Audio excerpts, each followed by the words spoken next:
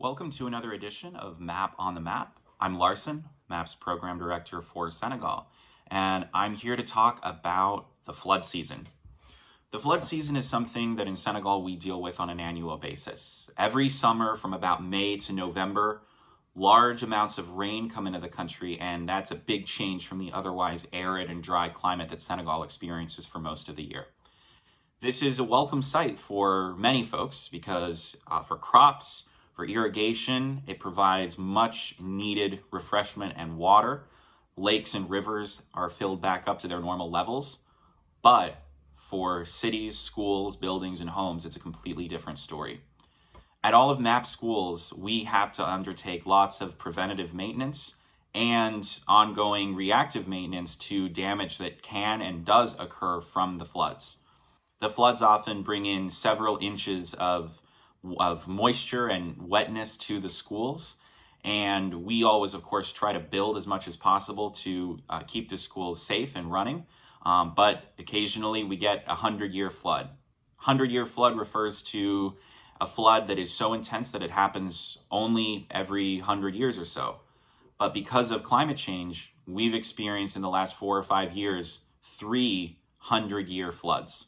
So there's been a lot of work that we've had to do in order to bring the schools, uh, you know, up to be safe and uh, you know not leaking, not uh, not having any rain come into the classrooms.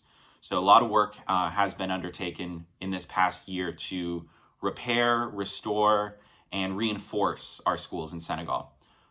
I want to especially thank the Stirling Foundation, who have been a great partner for us in Senegal in repairing the Cheikh Amadou Lô School.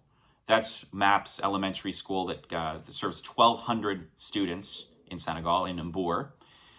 The Stirling Foundation has helped us refit and replace damaged flooring and tiling at the Cheikh Amadou Lô School.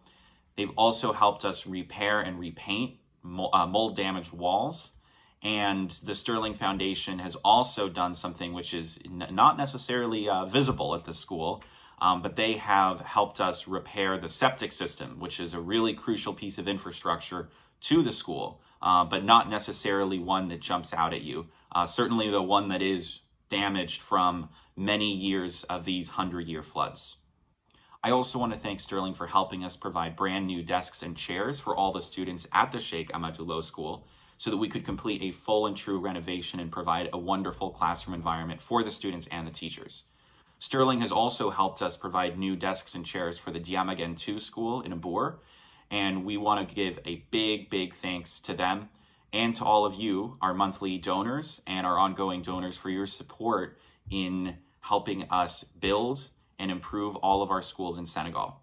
And if you want to be part of that, we encourage you to join our monthly giving circle today, even a contribution of just $17 a month. That's a couple of uh, lattes a month um, that will help us really transform lives in Senegal and around the world.